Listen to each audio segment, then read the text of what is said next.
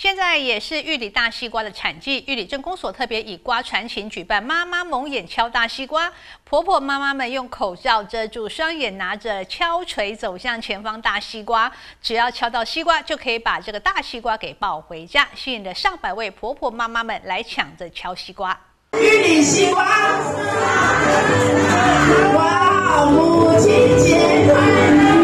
亲节也正值玉里大西瓜产季，玉里镇公所顺水推舟，邀请长官贵宾在台上切大西瓜，为这一场母亲节庆祝活动揭开序幕。新鲜现切的大西瓜，美味多汁，全场吃得津津有味。母亲节吃大餐，那你母亲节吃什么？吃西瓜。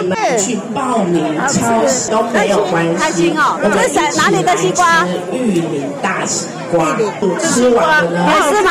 好甜哦，好甜哦，很特别，很特别。来这里大家一起吃更特别。母亲节玉里镇公所特别以西瓜来传情，安排分组吃西瓜比赛以及搬西瓜趣味竞赛，邀请镇上的婆婆妈妈们一同品尝享受玉里可口特杀的大西瓜。同时，妈妈蒙眼敲大西瓜的重头戏，只见婆婆妈妈们蒙上双眼，手拿长棍，一路胡乱挥舞的。朝着大西瓜的方向敲下去，现场加油声与欢笑声不断。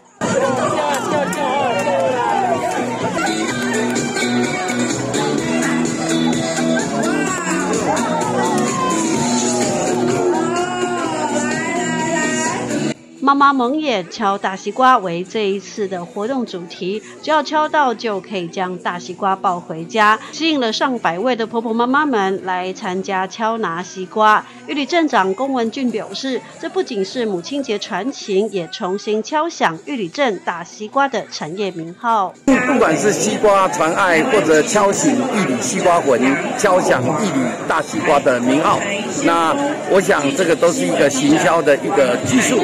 那么。未来义里镇公所将站在如何让啊我们义里的农产品由镇公所来搭乘民众来啊演戏来行销，也就是所谓的筑巢引切，让我们义里优质的农产品能够得到更好的通路以及更好的这个呃销售价格。从开幕起，现场参加的乡亲民众就一路吃西瓜、喝西瓜汁，以及比赛拿大西瓜。大家有吃有玩，也有的拿，还结合了夜市摊贩业者展示展售。母亲节的这一天，玉里的婆婆妈妈们大西瓜吃好吃满。母亲节快乐！记者石玉兰，玉里镇采访报道。